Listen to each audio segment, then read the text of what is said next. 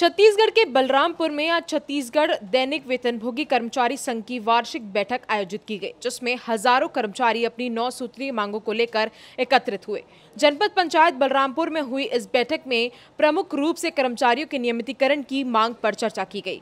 इसके साथ ही संभाग अध्यक्ष ने जानकारी दी कि रायपुर में 48 दिनों की सफल हड़ताल के बाद दैनिक वेतन भोगियों को आकस्मिकता वेतन का लाभ मिला है, जिससे कर्मचारियों को उम्मीद जगी है कि उनकी और भी मांगे जल्द पूरी होंगी। इसके साथ ही उन्होंने ये भी याद दिलाया कि 2008 में भाजपा सरकार ने नियमितीकरण की मांग पूरी की थी और मौजूदा सरकार से भी कर्मचारियों को ऐसी ही उम्मीद है। कुमार सिंह, संभाग अध्यक्ष, छत्तीसगढ़ राज्य दैनिक वेतन भोगी कर्मचारी महासंघ से हूँ।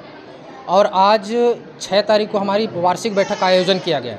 होगा रायपुर में दैनिक वेतनभोगी कर्मचारी संघ की अड़तालीस दिन का आंदोलन रहा और आंदोलन सफल रहा और उसमें आकस्मिकता निधि से उनका आदेश जारी होगा। क्योंकि उनको जब आकस्मिकता निधि से आदेश जारी होगा तो ऑटोमेटिक वो कलेक्टर के हाथ में रहता है कि तीन साल बाद नियमित वेतनमान लागू हो जाएगा उनका।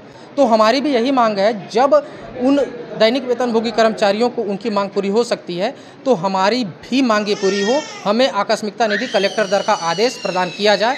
केंद्र और राज्य स्तर के जो कर्मचारी हैं, वो सारे कर्मचारी आए।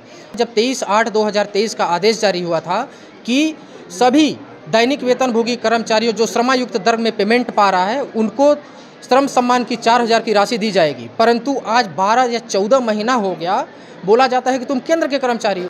तो हमें ये श्रम सम्मान से वंचित क्यों किया जा रहा है? भविष्य में बहुत महा आंदोलन चालू होगा। रायपुर स्तर पे हर मंत्री का हम लोग निवास घेराव करने पे मजबूर हो जाए अध्यक्ष का कहना है कि 23 अगस्त 2023 को पूर्व सरकार द्वारा पारित 4000 की श्रम सम्मान राशि भी अभी तक कर्मचारियों को नहीं मिली है।